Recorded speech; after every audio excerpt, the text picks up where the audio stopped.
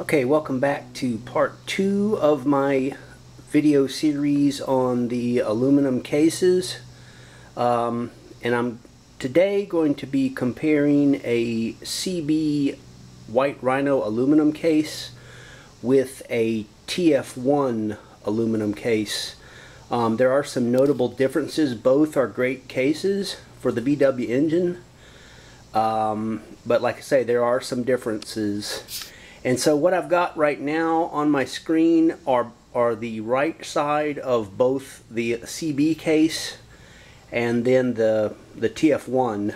Um, and first thing that jumps out at me on the TF1 are the lifter bores. If you'll notice as I zoom in here how close, um, well, they're not, uh, they're not individually shaped. It's as though they were hewn out of the aluminum billet. Um, you'll see what I mean. If I go back over here to the CB case, you notice how the lifter bores are distinct and they kind of exit from the side of the aluminum. Um, so that's one thing. It looks like there's the the CB case is extremely stout, but uh, looks like this TF1 is just that much more. Um, and also on the TF1 case um, I'm looking for it here. Uh, there are these little pins. I'm going to put my finger to one right there. And what you do with these is you uh, when you're taking the case apart I'm trying not to jump around too much here. When you're taking the case apart you stick an Allen wrench into the block um, where my thumb is and you turn that and what it does it it pushes the pin into the case and helps you separate the case halves. Um, that's a really nice feature. There's another one on the bottom uh, and there's there's there's four of these aligning the perimeter of the case and it really helps to, when you're taking the engine apart. Um, with the CB case, the Auto Linea cases, um, they don't have that, and so you have to go for the old tried and true uh, case splitter tool, which I have part of here.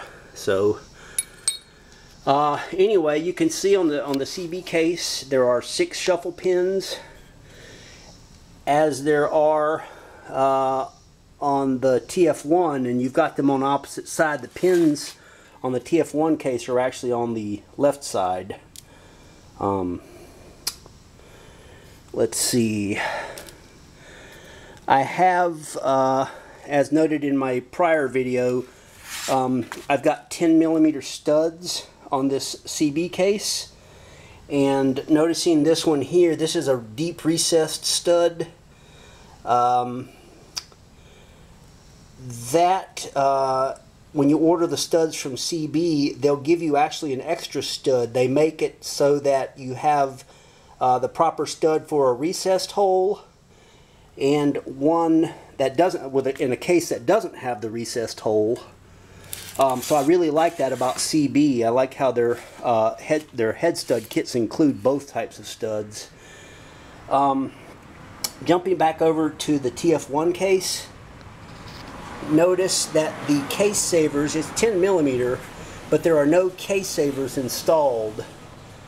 Um, it's because the case doesn't need them. This is a very strong case. It's capable of supporting 400 horsepower. Um, and so the um, the precision alloys they don't use case savers. Um, this is this is cut for 94s, and it's clearanced uh, for the the big stroke crank, the 86 crank.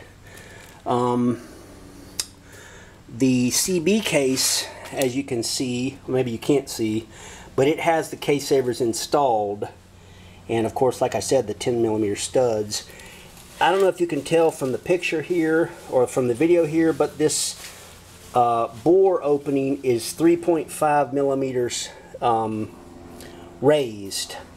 So it's got a raised deck surface. Anyway, Uh, that for now is all that I've got. I'm doing a comparo between, like I say, the CB White Rhino aluminum case and the Precision Alloy TF1 case, both of which are very stout and will make a great basis for any VW project you have. So that's all for now, and I might be making another video um, shortly, but this again is part two of my series on the aluminum cases. Thanks for watching. Uh, give me a like and a thumbs up and subscribe if you like this video and my channel content and want to see more. Thank you. Bye-bye.